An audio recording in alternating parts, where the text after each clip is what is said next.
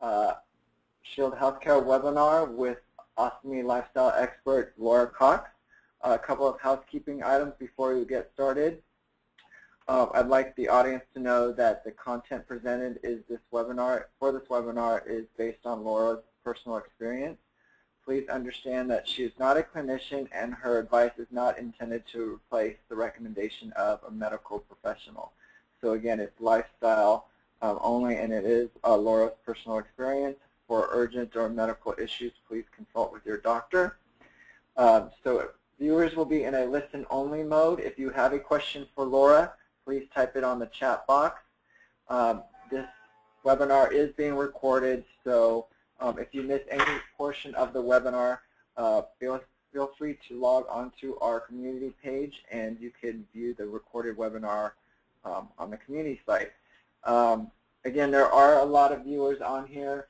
So we'll try to answer as many questions as possible. Um, but if you if you don't get your question answered, please go on to our Ask Laura section of our Shield Healthcare website. Um, at this time, I'd like to present Laura Cox, ostomy lifestyle expert at Shield Healthcare. Laura. Thanks, Eric. Um, so today we're going to be talking about some lifestyle topics. And the topics for today are how to travel with an ostomy, how to tell a loved one about your ostomy, and how to swim with an ostomy. So quickly, I just really like to introduce myself and give you a little bit of my background so you know um, how I got involved with SHIELD. So I was diagnosed with ulcerative colitis in 2010, and I went through all the medications that were approved thus far for um, for ulcerative colitis, and none of them worked. So I had to get my ostomy in December of 2011 and a total colectomy. Um, about 11 days before I got my surgery, I started really wondering what life would be like with an ostomy. And so I started Googling things like how to tell someone that you have an ostomy, how to swim, how to um, you know, have a relationship with ostomies, all these lifestyle issues. And um, I couldn't find anything. And so then I made a decision 11 days prior to surgery to found a YouTube channel that is called Ostomy Story. And I really just addressed lifestyle issues with ostomies and just talked about my experiences and my, you know, my achievements and also my downfalls with my ostomy. Um, about two years after that, Tosh.0 of Comedy Central found me, and I went on there, and through that, Shield Healthcare found me, and I am now the Ostomy Lifestyle Expert. So now that that is aside, I would like to start with traveling with an ostomy. So the first time I traveled with my ostomy was about three months after I got out of the hospital, and I was so nervous. So I went online and I looked up a bunch of travel tips with an ostomy, and some of these are mine just from a bunch of experiences I've had now. So the tips that I found most helpful are to keep supplies somewhere accessible. I usually keep all of my supplies that I bring in my carry-on underneath the seat in front of me, so they're just so easy. So just in case I have a leak, I can grab them, run to the back of the airplane to the bathroom, and that, that works great. I also pre-cut one or two flanges just because you never really know what the TSA is going to take away and what they're going to leave. So just in case they do take your scissors away, I've never had this problem, but it's good to be prepared. So just having one or two flanges pre-cut, so just in case you have a leak, they'll be all ready for you. Um, next, take twice as many supplies as you think you need. It's really difficult to find the supplies that you need when you're not getting them through your own doctor or WOCN. Use odor eliminating drops.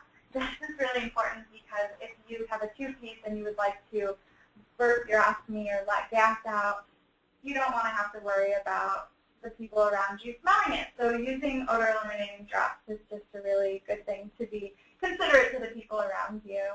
Um, also, make sure you hydrate and take plenty of snacks. It's really important because having an ostomy, it's much easier to become dehydrated, and also it, you start feeling bad when you don't eat for a while. So just having nice snacks on hand is good.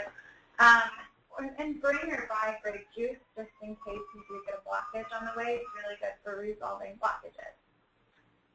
So um, this was another part of traveling that I was really apprehensive about. It was going through security. So I had attended a support group prior to going on my trip, and they said that the TSA should know what an ostomy is.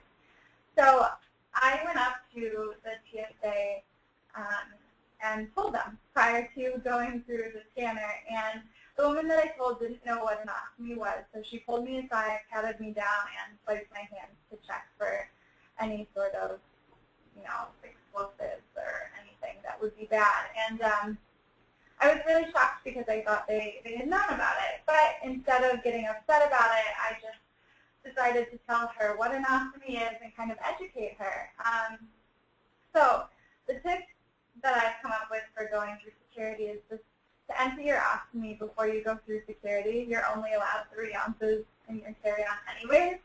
Um, if you are stopped, it doesn't have to be embarrassing. It's a chance to educate a TSA member and also to maybe perhaps make it easier for another ostomy to travel. Uh, for official guidelines, we just put the link below. Go to tsa.gov slash traveler dash information slash ostomy. So this is these are tips that I came up with after another traveling experience. Um, I was actually on the way back from that first trip, and I thought that I had a little bit of gas in my ostomy, and so I decided to burp it and let the gas out. And lo and behold, it wasn't gas. It was very thin stool. Um, so I had a leak, um, I guess you could call it that, and it had come down my abdomen and dripped down my leg a little bit, and so I ran to the bathroom, and luckily I was prepared, so I had a washcloth with me, and I washed myself off, popped my ostomy bag back onto the wafer, and it was okay. So really just to emphasize using odor neutralizing drops or products when you travel and to bring a washcloth in your carry-on and to, even if you think it's gas, just go to the bathroom. It's better to be safe than sorry. Um, so I want to emphasize, since we did talk about a couple of things that can go wrong while traveling, that I have had three international trips, over a dozen domestic flights, two long road trips, and two international train rides without any problem. So really, traveling with an ostomy is just something where you need to be prepared and you need to be positive and bring all of your supplies, your pills, your doctor's notes, just in case. Um, and the last thing is that attitude really is everything when traveling with an ostomy. Um, it's best to just roll with the punches and be prepared, and hopefully this will be a liberating and confidence-building experience of traveling with your ostomy. So next I'd like to talk about how to tell a loved one. And I'd also like to note that all the pictures on here are my loved ones and they all know about my ostomy. Um, this is a really difficult thing to, um, to talk about sometimes because my main concerns were that I would provoke sympathy and that's not why I tell someone about my ostomy. I don't want them to feel sorry for me or to think that I'm always sick. I want to tell them about my ostomy because I want to show them how much better off I am, or just to have them understand my way of life. And another fear for me was being abandoned. Um, I was worried that once I told my friends about my ostomy or about my illness, that they wouldn't want to be friends with me anymore because I knew that people aren't always comfortable with illness. They're not always comfortable with the idea of pain and, and medical issues. So I found a way to kind of tell people that I was comfortable with, and I call it a script. So a script is essentially just something that you plan out prior to telling someone. And you practice it in the mirror or you just say it over and over in your head so that you never really have to worry about being put on the spot when you tell someone about your ostomy. So just to make the script universal is really important. Um, my script is universal, so I can use it for my grandma, I can use it for my nieces and nephews, I can use it for strangers and people I've known for a long time. Um, it's best to keep, keep your script positive. Uh, the more comfortable you seem with your ostomy, I find the more comfortable other people are with the idea of it as well. And just convey to the other person that you're open to questions and that you appreciate their interest. So I always kind of ask them if they have any questions, if they're comfortable hearing about my ostomy. It's just really good to have open communication when you're telling a loved one about your ostomy about your, your illness. Um, so this is my script that I have um, kind of put together, and I just wanted to give an example of something that I say. So mine is four years ago, I was diagnosed with an autoimmune disease that attacked my colon. My disease got so bad that in order to save my life, the doctors had to remove my colon. Because my small intestine isn't connected to my colon anymore, I had to get an ostomy. My life is so much better because of it. So you can notice that I really end on a positive note. My life is so much better because of it. And this, I just want to portray that people shouldn't feel sorry for me because of it. I am, in my mind, my ostomy saved my life, and probably my doctor's mind too. So at this point is the time where you should really gauge how the person is feeling. Um, if you feel like they're uncomfortable, I would just stop at this point and just say, thanks for listening. Now I just wanted to get that out. Um, but if a person seems comfortable or interested, you can ask if they know what an ostomy is. Um, if they say no and ask what it is, then I would come up with another script or your own way of explaining what an ostomy is. And I just kind of attached my second script of telling people what an ostomy is, and I keep it really simple and kind of um, leave parts of it to the imagination. And you can just say, I poop in a bag now. If that's something you're comfortable with, there are no rules. It really just is about how comfortable you are with telling someone and your personality. So mine is, my ostomy is a part of my intestine that sticks slightly out of my abdomen and it empties into an external bag. So as you can see, I leave a lot to the imagination. What empties into an external bag, you know? But um, that's just what I'm comfortable with. So the last topic I would like to talk about is swimming with an ostomy. This was another thing I was really apprehensive about. Um, I worried about having a leak in the pool. I wondered, will it, will I have to change my ostomy afterwards? How am I going to conceal it? Should I conceal it? So the first thing I want to address is how do I avoid leaks after I swim? So one of the most important things is to know if your flange has a waterproof barrier or not, and I attached a picture below of what a waterproof barrier around the flange looks like. Um, if you do not have a waterproof barrier, there are other ways that you can make your flange waterproof. Um, there are different types of seals and strips that you can find. Uh, I also want to note that if you use a seal or a strip, to take it off after you swim, just because you may develop a slight yeast infection underneath or your skin may react. So these are the most frequently asked questions I have gotten about swimming with an ostomy. Um, so does swimming with an ostomy reduce, oh sorry, does swimming reduce the wear time of my ostomy? Um, I usually notice like a one day decrease in, in my ostomy wear time, but it really does depend on what type of water you're swimming in as well. Is it better to swim right after changing your ostomy or right before you change? Uh, once again, it's kind of up to you. I, I swim whenever, actually, so it's really personal preference. I haven't found that one way is better than the other. And does salt water affect your ostomy differently than chlorine water? I found that salt water does decrease your wear time a little bit more than chlorine water, usually by just one extra day, though. Um, so to conceal or not to conceal. This is, once again, really personal preference. If you're comfortable with showing that you have an ostomy, then you can just wear your favorite bathing suit. Um, if you choose to conceal it, though, a flattering one piece, a tankini, a monokini works. Um, and when you're doing that, keep in mind that dark colors and patterns conceal the back. There are also swim wraps for men and women that are especially made to hide your ostomy. Um, some people use patterned duct tape on their ostomy outside so that they hide that tan skin colored cloth that looks a little bit medical. Um, also tank tops for men or for women and rash guards can sometimes work. Uh, so once I, once again, I said, like, if you choose not to conceal, then just wear your favorite swimsuit in confidence. So that concludes my prepared part of this. We're going to now open up to questions and answers. But first, if you would like to visit Shield Healthcare, um, we have more Q&As, we have videos, we have helpful blogs and helpful resources for people with ostomy. So you can see that at shieldhealthcare.com slash community slash. All right. So if you have a question for Laura, please type it in the chat box. Uh, don't be shy. Uh, as, as, you can see, Laura has been pretty open um, thus far. So a couple of questions have been rolling in. Um, Laura, how do you get over the emotions? I've had the pouch for two years and I still have emotions about it still.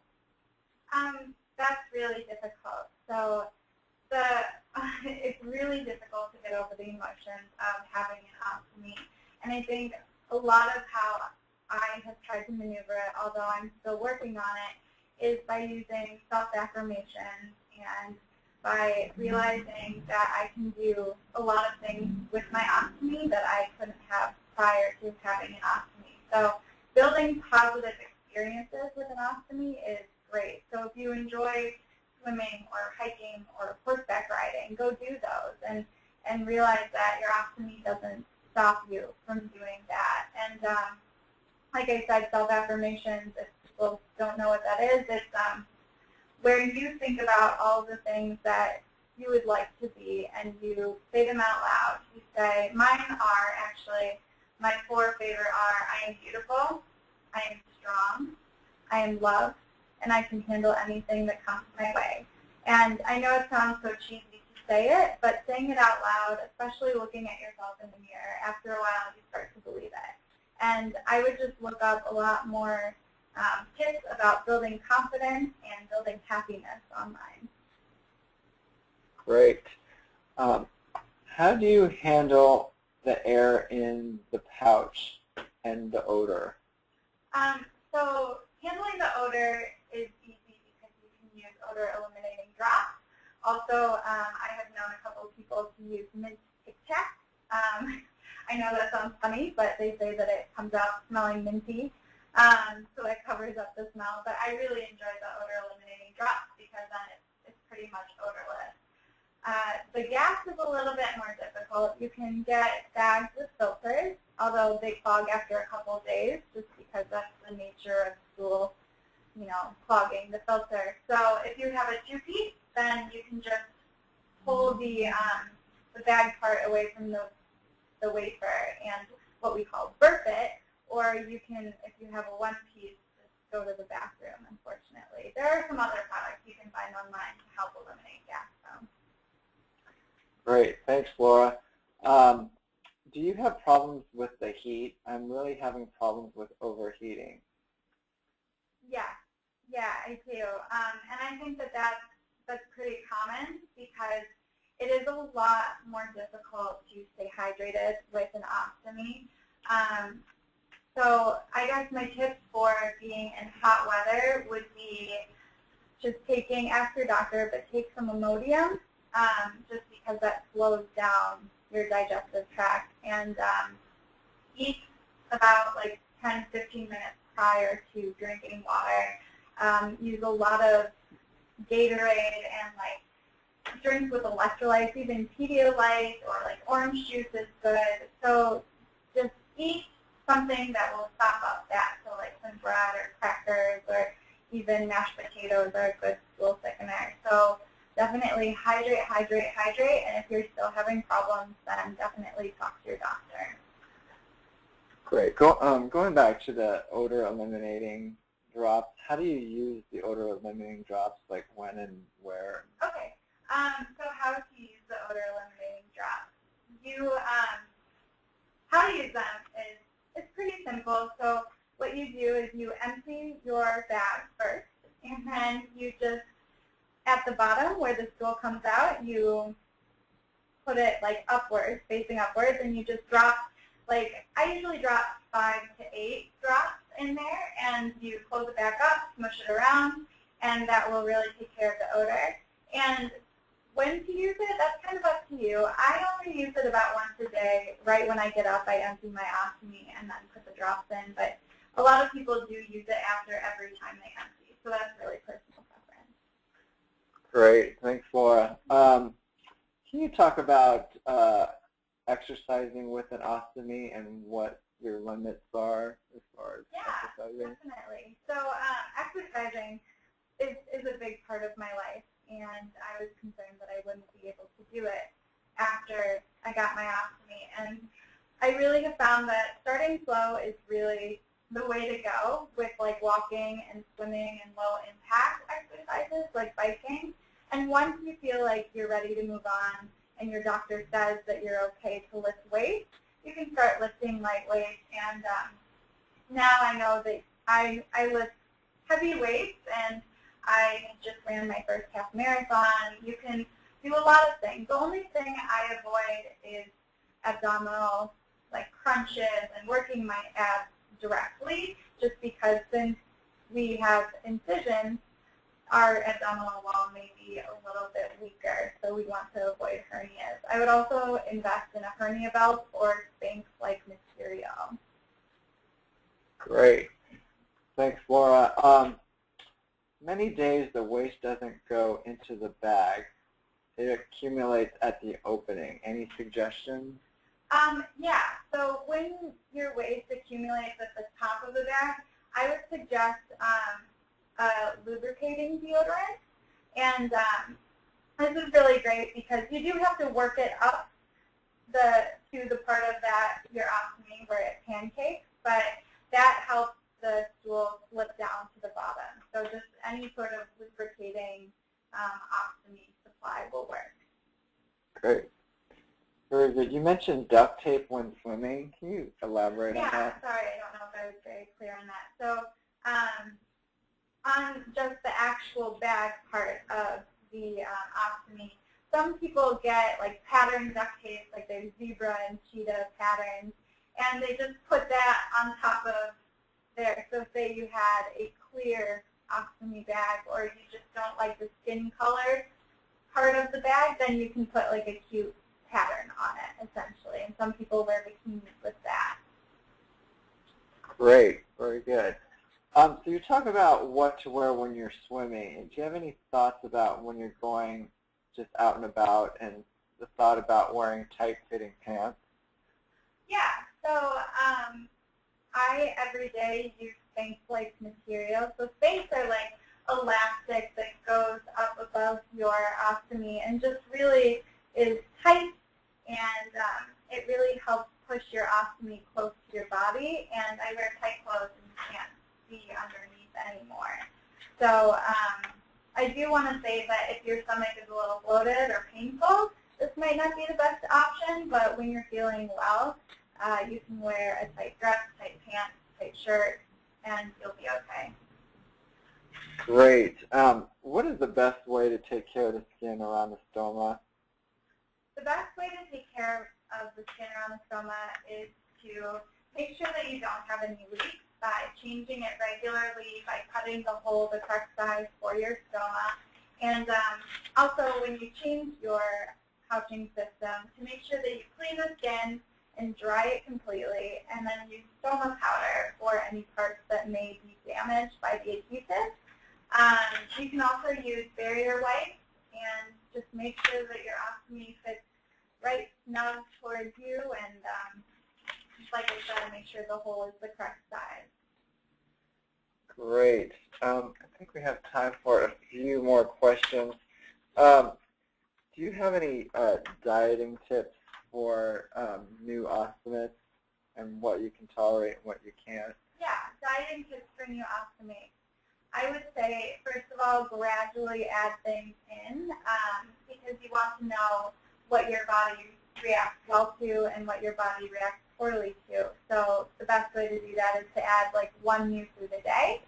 I would also suggest chewing a ton. Chewing is so essential to help aid in your digestion, to help break that food down because you don't have parts of your intestine anymore. So you really should help along the digestion process and also just drinking a ton of water after you eat.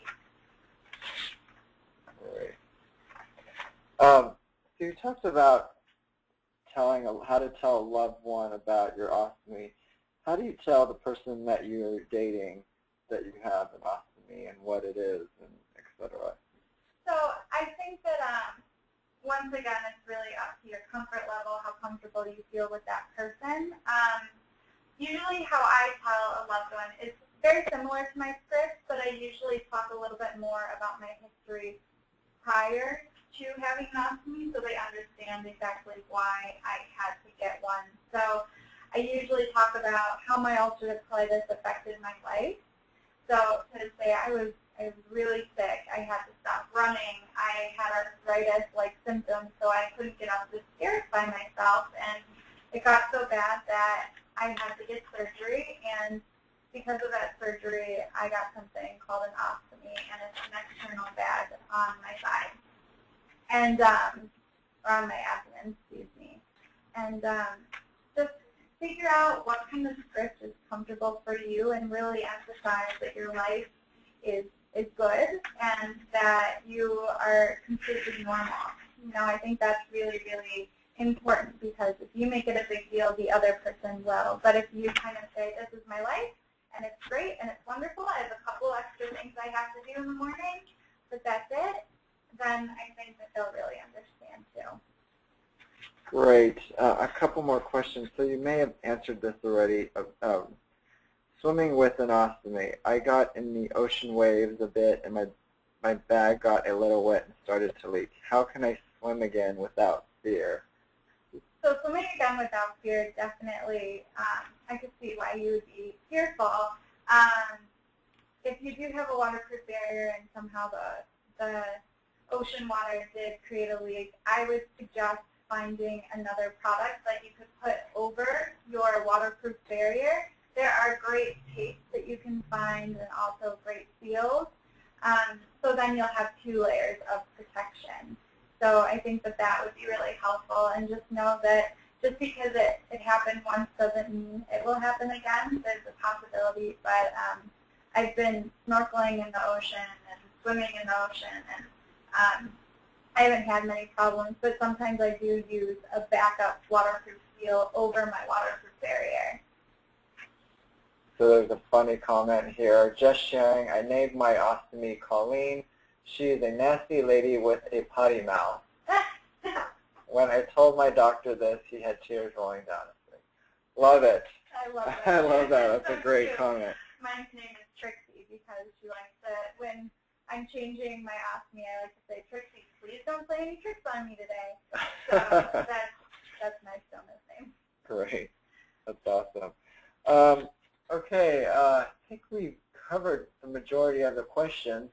Um, if you have a question for Laura, uh, please go to the Ask Laura section of our uh, community page. That's www.shieldhealthcare.com slash community. And uh, th again, this webinar is being recorded, so it will be posted on, on our community site uh, hopefully tomorrow or the beginning of next week. Um, so I'd like to thank everybody for joining us uh, on our webinar, and I'd like to thank Laura for a great presentation. That was great. Um, and uh, thank you for being a part of this webinar, and have a great afternoon. Thank you, everybody. Thanks, guys. Bye. Bye-bye.